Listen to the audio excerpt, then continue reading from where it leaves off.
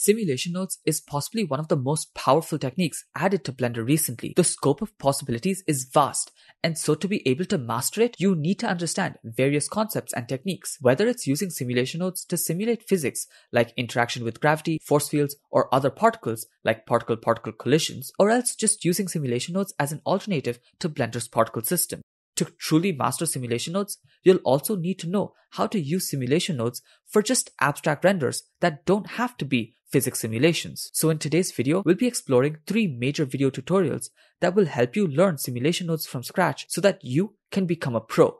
We'll be talking about exactly what techniques you'll be learning in each video while also listing out other follow-up videos that will help you concretize your concepts. Then we'll finally end by listing out five other tutorials that you can watch to create abstract animations using simulation nodes. Links to every tutorial will be present in the description and I'm sure this video will be helpful. So let's start it right off. Starting off, we have particles and sphere interaction using simulation nodes. This was the first simulation nodes based tutorial that I created. So we go into a lot of details about every single step while explaining why we're doing everything that we do. You will learn how to distribute particles in 3D and then make them interact with each other with attractive forces and collision type physics. You will then learn how to get these particles to interact with external objects as well, which can be animated based on your preferences to maybe follow a curve or just have positions keyframe. A great follow-up to this video is the fluid particles trapped in a glass sphere tutorial where we build upon the techniques explored in this video to help trap particles within a sphere. Moving the sphere around causes the particles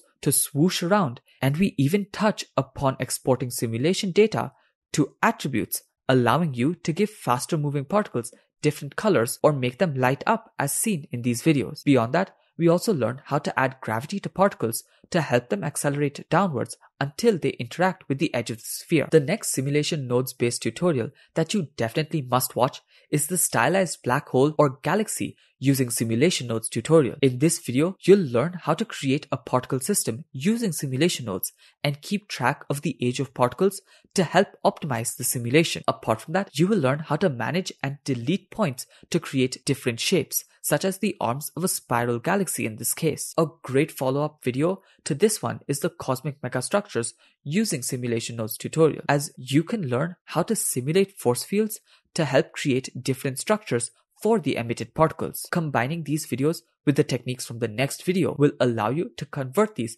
to looping animations as well. The next most important video when it comes to learning simulation nodes is the abstract looping lines using simulation nodes tutorial. In this video, you'll learn not only about particle systems using simulation nodes, but also how to loop the particle systems. This ends up acting as a very important base and technique which can be combined with other videos to make them go on forever. You'll also be learning how to use random values to create different colors for different lines, but also how to ensure that the different objects that are being combined together to make up each line retain the same color. A simple follow-up to this video would be the radial neon lines in a starburst effect video, which will be a shorter video just to ensure that you've grasped the concept of looping particle systems. If you do want another video on how to loop particle systems, you can check out the Neon Hearts Trails video, which is also a very similar video when it comes to the best abstract animation tutorials using simulation nodes, another fun image from Circles Effect using simulation nodes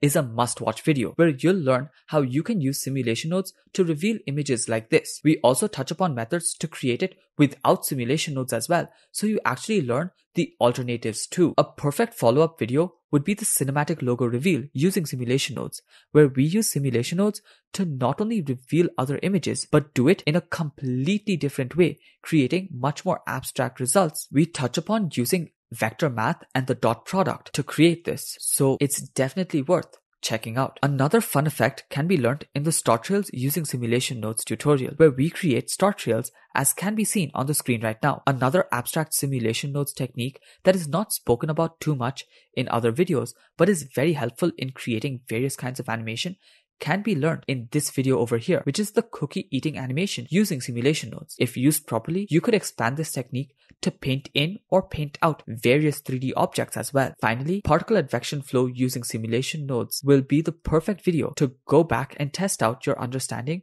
of simulation nodes once you're done with all of these tutorials. This will allow you to create amazing energy bursts of particles that can be emitted from various surfaces, such as spheres, planes, or even characters if you wish to do so. I really do hope you found this video useful and there's a lot of other simulation videos that didn't make it on the list this time. So if you actually liked the videos on this list, do check out the entire playlist if you're interested. Thank you so much for watching and until my next video comes out, keep creating and don't forget to stay creative. For those of you who regularly follow my channel, I do feel the need to mention that this entire compilation was meant to be released a couple of weeks ago while I was in my Japan tournament.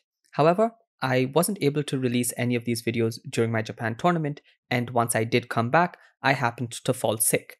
However, I'm now healthy and I'm back, so I will continue posting regular tutorials every single day from today onwards. So I do hope that all of the future videos will also help you, and I will try to release one single short film by the end of December. Now, that does mean that I might miss one or two days in the middle as well because my laptop will have to be rendering the entire animation and it's a pretty long video so I'm not sure how long it'll take my laptop to render but I will try to make sure that I post one video every single day for the next couple of months to come at least. Until then, thank you so much for staying along for the ride and I do have a few very special videos coming up in the next couple of days so stay tuned for that as well. Until next time, thank you so much for watching, keep creating, and don't forget to stay creative.